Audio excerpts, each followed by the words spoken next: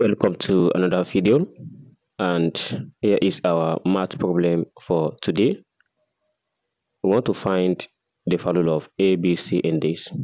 So the first thing we are going to do here is we know that a divided by 3 is equals b divided by 5 and uh, for the second one we are going to have b divided by 5 equals c divided by 7.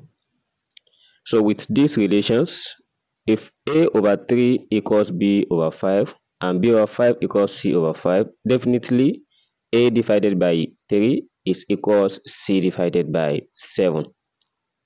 Alright? And uh, to get the value of a, b, c in this, so let's say from the first one, uh, if you cross multiply, we are going to have 5a equals 3b and by making b the subject of the formula here we are going to divide both sides by 3 and uh, we have the result as b equals 5a divided by 3 and for the second one though i don't need this that much. So by making uh, c the subject or b the subject anyhow but let's say we cross multiply we have 7b equals 5c so I've just leave this like this. And uh, for the last one we are going to cross multiply as well where we have 7a equals 3c and let's make c the subject of durations. Then we have c equals we divide both sides by 3 and we have 7a divided by 3 and for this and uh, this we are going to substitute the two of these in abc equals 8 4 t. So let's write this thing out. We have ABC equals 840. So anywhere I see B, I'm going to replace it with 5A divided by 3. And anywhere I see C, I will replace it with 7A divided by 3. Therefore, we have A bracket 5A divided by 3.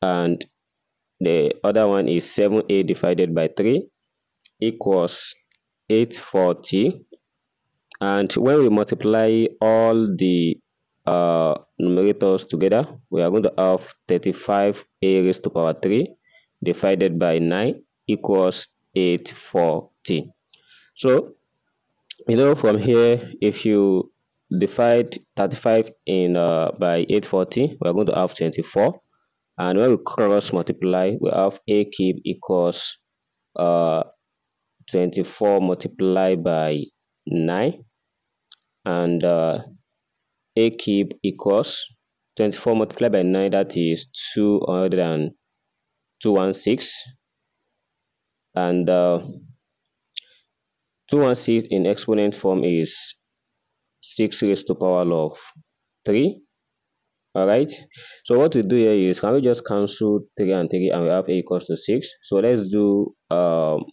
the basic math here.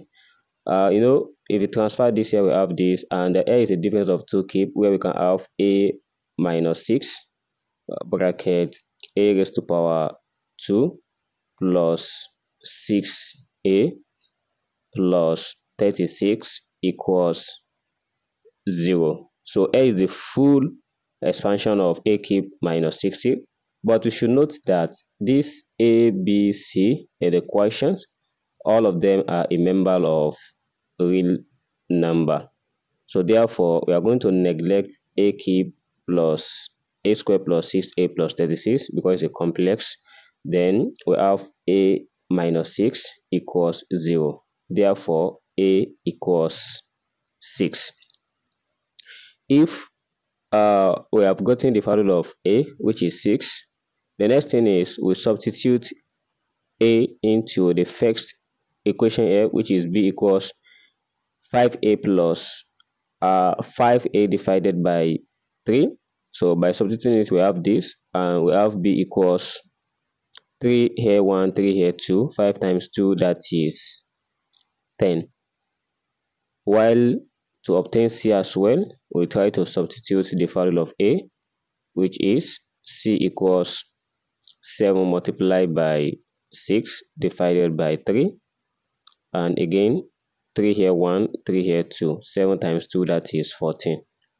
Therefore, the whole value of a, b, c in this problem is we have a equals 6, b equals uh, 10, and uh, c equals 14. And uh, we are done for today's problem. Thanks for watching and uh, if you have any other way of doing this, you can drop it in the comment box. Please don't forget to subscribe to this channel and like this video. I will see you in the next class. Never stop learning. Bye bye.